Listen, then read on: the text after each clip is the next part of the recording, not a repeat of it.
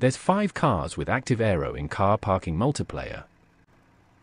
But do you know that there's only one car that you can apply an active aero to from the customization shop? This is one of 5 useless facts that you don't need to know about car parking multiplayer.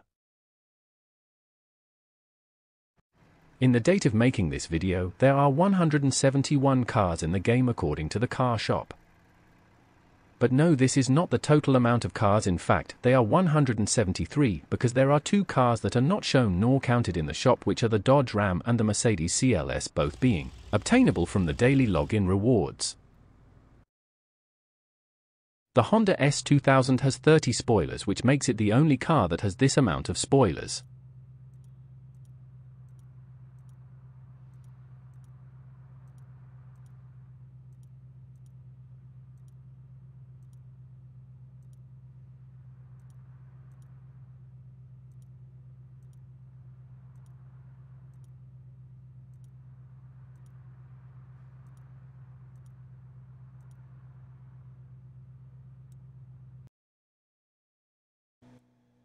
Out of all the eight places the longest one that is left unupdated the most is the racetrack every single location in the game had some tweaks and changes, but the racetrack got no update other than the parked cars which are just replacements of the old models and not additions.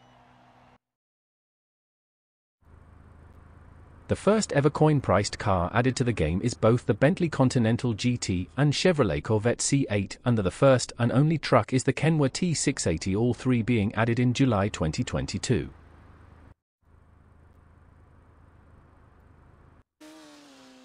Okay these are 5 useless facts you don't need to know about car parking multiplayer.